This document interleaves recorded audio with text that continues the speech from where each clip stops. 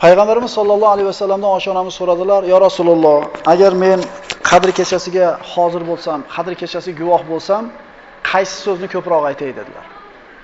Shunda Rasululloh aytdilar: "Quli Allohumma innaka afuvun karimun tuhibbul afwa fa'fu anni."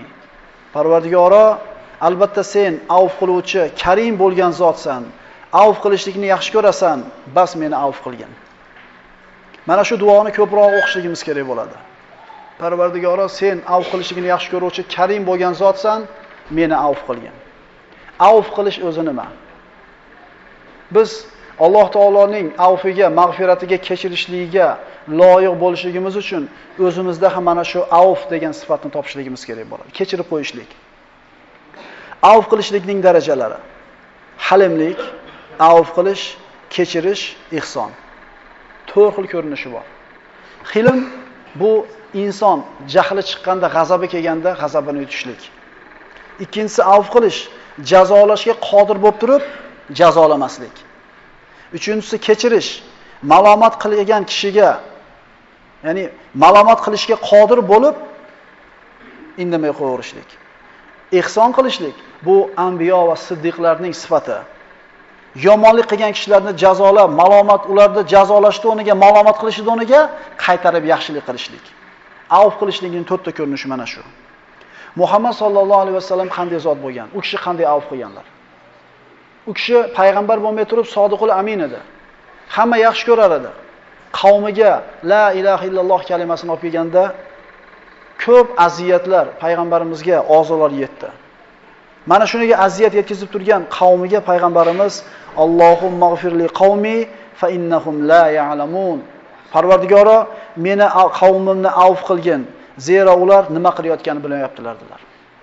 Bu o'rinda 3 ish jamlangan. Ularni avf qilish o'zi kechiryapti.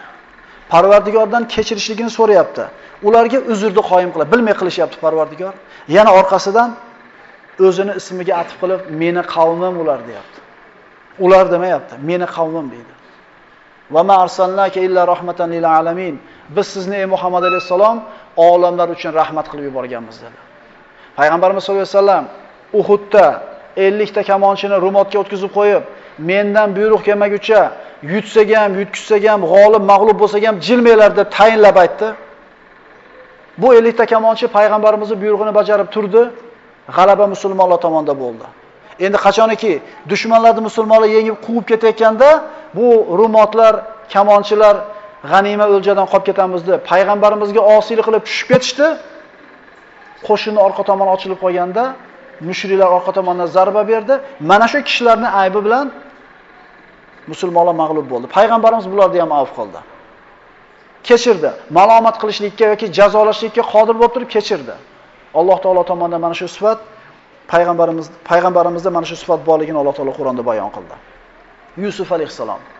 Biz avf qilgan kishilarning hayotidan ozgina ozgina lavha gapirib beramiz. Yusuf alayhissalom akalari hasad qilishib, otasini qo'lidan olib quduqqa borib tashlashdi. Yusuf alayhissalom 12 yasharida qul bo'lib sotilib ketdi quduqdan chiqib.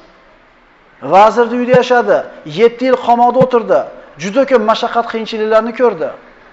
Oxiri akalari nohaqligi ma'lum bo'ldi. Ularni qilgan xato ishlari fosh bo'ldi. Shunda ukalarining oldida hijolat bo'lib turganlarida ularni avf qilib, la tasriba alaykumul yawm. Bugun sizlar ayblanmaysizlar dedi. Yaghfirullohu lakum. Parvardigorim sizlarni mag'firat qilganda ularga istig'for so'radi. So'ngra aytdi, bu ishni sizlar qildinglar deb ma'lumot qilmadida, ba'di min ba'di nazag'a shaytonu bayni va bayna ikhwati. Shayton men bilan og'a inilar orasini buzib ig'vo qildi. Ya'ni ayb ish qilgan akalarni kechirdi. Allohdan istig'for so'radi. Yana sizlar qilmadinglar. Shayton vasvasa qilganiga shunday ish bo'ldi dedi. Akalariga uzrni qoyim qildi. Iso alayhissalom u kishi qanday avf qildi? Qavmi toshbo'ron qilar ekan, u kishini haqoratlar ekan, masxaralar ekan, Iso alayhissalom ularga faqat yaxshi gapni gapirar edi. Ular faqat haqorat qilib, xunuk so'zni gapirardi. Iso alayhissalom aytardi: "Kullun yunfiq bima indahu." Har bitta odam o'zida bor narsani infoq ihson qiladi. Ularda faqat yomon gap borligi uchun qalbida yomonlik chiqdi, Iso alayhissalom faqat yaxshilik bo'lgani uchun yaxshilik chiqdi. Avf qilishni o'rganaylik. Chunki avf qilishlik ulug' insonlarning sifatlaridan. Alloh uchun avf qilgan narsamizni Alloh taolo mukofotini albatta qiyomat kunida beradi. Avf qilgan kishilardan. Abu Bakr Siddiq roziyallohu anhu ning qizi Ummul Mu'minin Oysha onamizni munofiqlar ifk hodisasida fahshda, zinoda ayblashdi.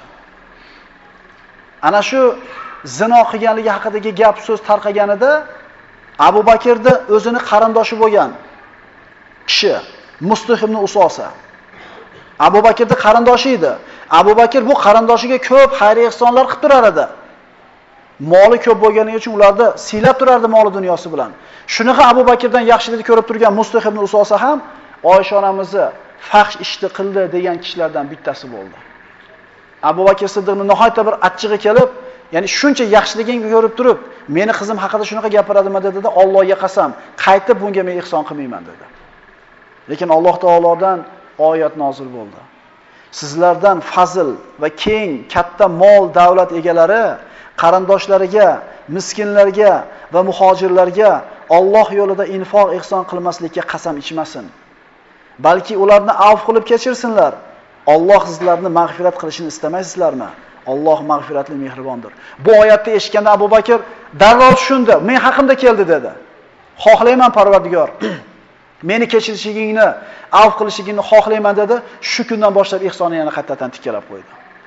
Mana aytayapmiz, avf qilishlik bu ulug' sifatlardan, anbiyolarning sifatlaridan. Abu Bakr aytdi, Allohga qasam, bugundan boshlab unga qiladigan yaxshiligim hech qachon to'xtatmayman dedi. Alloh aytadi: "Idfa billati hiya ahsan, fa idza allazi baynaka va baynahu adawatun ka'annahu waliyyun hamim." va ma yulaqqaha illa allazina sabaru va ma yulaqqaha illa zu hazzin azim.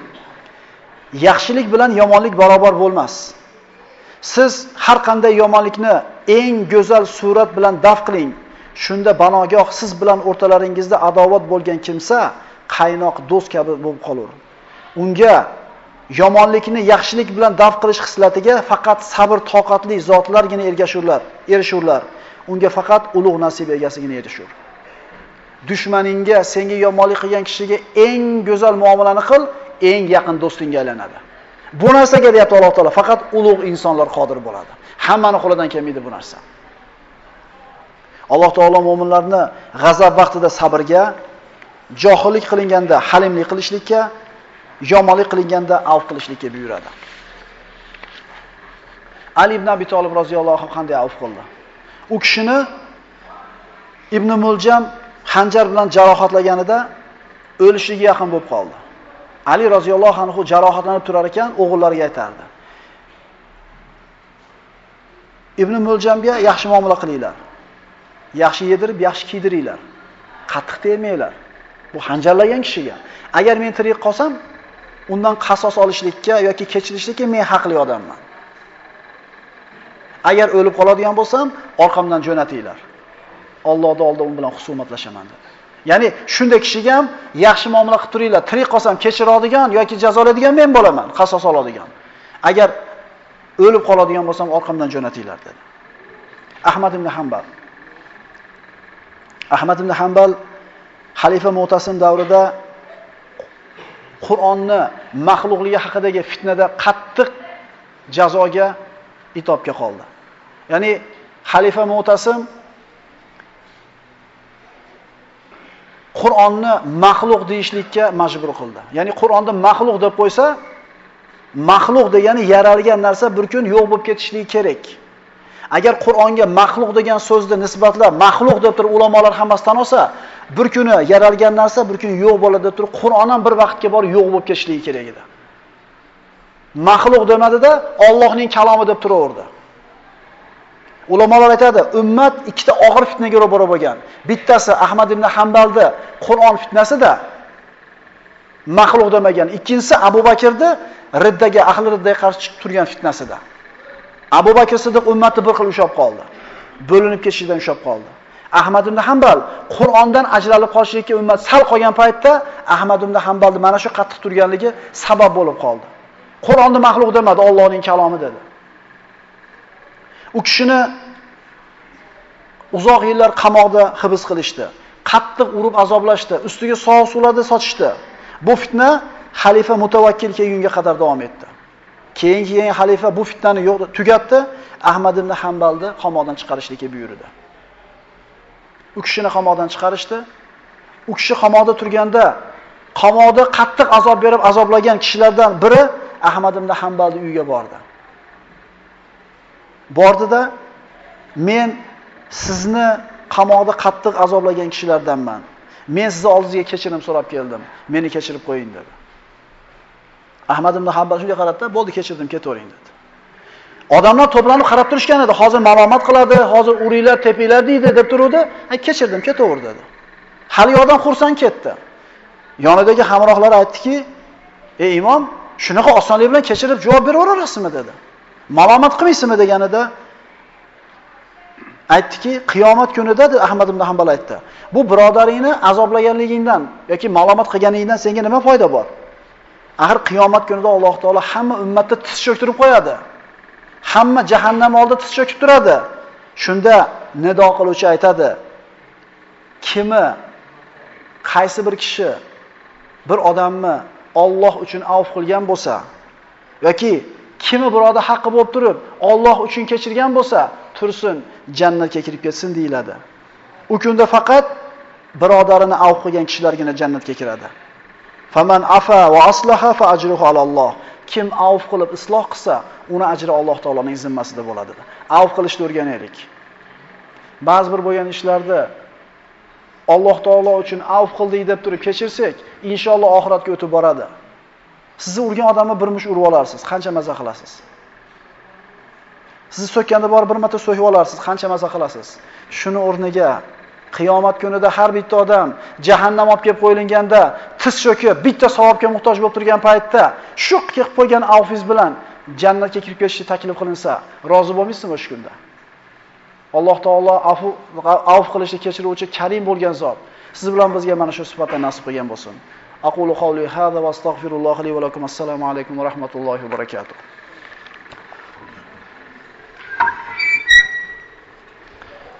Hozir ozgina dam olib keyin tahajjud o'qiladimi? Hozir endi bir 15 minutmi, 20 minut bir dam olinsa, tahajjud nafl namoz o'qiydiganlar o'qib, Qur'on o'qiydiganlar o'qib, tasbih aytadiganlar aytinglar. Bir 15-20 minutdan keyin 8 rakat qiyomul layl tahajjud namozi o'qiladi, inshaalloh. Hmm?